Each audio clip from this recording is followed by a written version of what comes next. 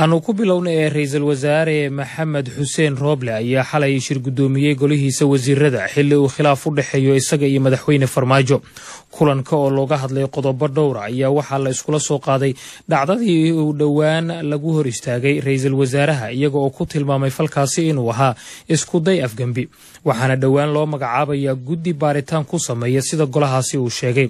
Wariyaha v o eda ee magaalada muqdisho cabdulcasiis barrow ayaa warbixintan noo soo diray sida lagu sheegay war ka soo baxay kulankii golaha wasiirada uu shir guddoominayay ra'iisul wasaare maxamed xuseen rooble. Waxa uu golahu cambaareeyey dhacdadii toddobiyo labaatanka bishan diseembar ka dhacday xafiiska ra'iisul wasaaraha. Waxaana ay ku sheegeen inuu ahaa iskuday afgembi ah. Dhowaanna loo saari doono guddi uu soo xulaya ra'iisul wasaaraha oo baaritaan ku sameynaya arrintan. Sida uu shirka kadib sheegay wasiirka warfaafinta soomaaliya cismaan abuukar dubbe qodobka koowaad waxa ay kaga hadleen si weyna ugu faaqideen inqilaabkii iyo is-hortaaggii xafiiska ra'iisul wasaaraha la iskaga hortaagay toddobiyo labaatankii bishan. Golaha wasiiradu si wada jira wuxuu ka muujiyey inuu ka xog yahay arrintaa waxaanu ra'iisul wasaaraha ku taageeray mowqifkiisii ahaa in doorashadu socoto iyo shirka madasha qaranka. Kale waxaa la soo saaray oo shirka golaha wasiirada ka soo baxay in la sameeyo guddi soo baara sidii arrimahaasi u dhaceen iyo sidii laysoo hortaagay shaqada ra'iisul wasaaraha iyo ciddii is hortaagtay. Guddidaana waxaa soo magacaabi doona ra'iisul wasaaraha jamhuuriyadda federaalk soomaliya sidoo kale waxaa shirkan lagu meelmariyey xisaab xirka sannadkii laba kun iyo labaatanka kaasi oo ay si wada jira u soo gudbiyeen wasaaradda maaliyadda dalka iyo sidoo kale xafiiska xisaabiyaha guud ee dowladda soomaaliya.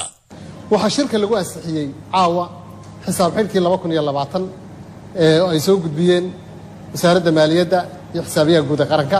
Si buuxda ayaa golaha wasiiradu isugu raacay ansixinta xisaab xirka sanadka laba kun iyo labaatan. Shirkan ayuu tilmaamay wasiirka warfaafinta in la iskula soo qaaday arrimaha amniga caasimadda soomaaliya ee muqdisho iyadoo ay ka howlgeli doonaan ciidamo isku dhaf ah kuwaasi oo sugaya nabadgelyada.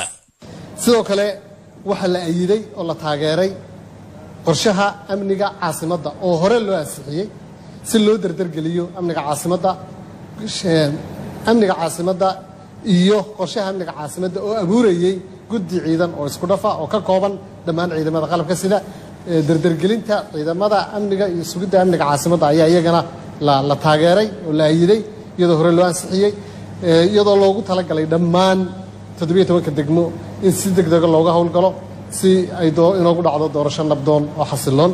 Haddaba qodobada ka soo baxay kulankan xilli weli uu jiro khilaafka siyaasiga ah maxay ka dhigan yihiin? Waxaan su'aashaasi weydiiyey. Xasan mudane oo ah bare cilmiga siyaasadda afrika ka dhiga qaar ka mid a jaamacadaha muqdisho. Midaan kaleo baaritaanka ah runtii waa arrin saxa. Sababtan waxay tahay haddii faraha laga qaado oo la aamuso waan sheegay dhaqan siyaasadeed cusub ayay noqonaysaa oo siyaasadda ku soo kororta hadhowna waxaa imaanaysa dowladaha cusub oo dhalan doona in xafiiska ra'isul wasaaraha iska dhaafay kan madaxweynaha hadhow ciidama ay xiran doonaan.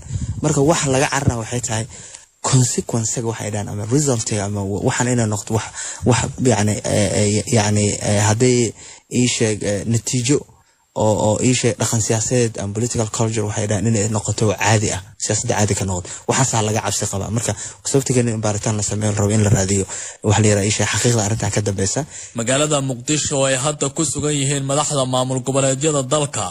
Waxaa weli taagan khilaafka madaxda sare lamase oga sida xal loo heli karo iyadoo beesha caalamkuna ay soo jeedinayaan in laga gudbo xaaladda taagan si fursad loo siiyo geedi socodka doorashooyinka soomaaliya cabdicasiis barrow v o a muqdisho